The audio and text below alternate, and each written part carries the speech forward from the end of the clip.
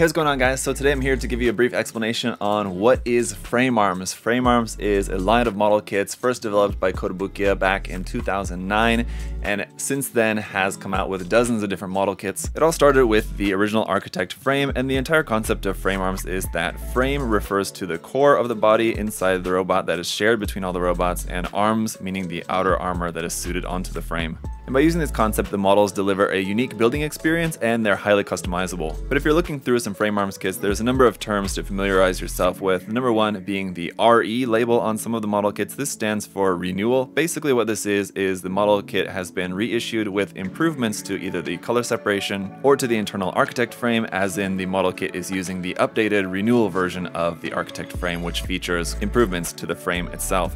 There is also FME versions of frame arms model kits. This stands for four Modelers Editions. essentially what these are is a version of the model kit or a version of the armor for a particular model kit that is molded in neutral colors, usually white and off-white. And this is ideal for painting and easier customization and kit bashing. And then there is also available weapon sets and extend arms sets. Extend arm sets are additional equipment sets that are usually designed for a specific model in the line, but like with everything else in the frame arms line, is easy to customize with any particular model that you might so choose. Aside from all that, there is also a very wide range of MSG or modeling support goods available. This would be optional weapons, armor, equipment, things like that that you can buy that will work with any of the frame arms model kits. So as you can see, the real focus of frame arms is for the modeler to be creative and customize them. Although you don't have to do that, that is certainly one of the most fun aspects about the model kits and I highly recommend them. If you guys would like to check out some frame arms kits for yourself, check the link down in the video description below. But what do you all think of the frame arms line? You can let us know down in the comment section below. Do you have a particular favorite release out in the line? You can let us know.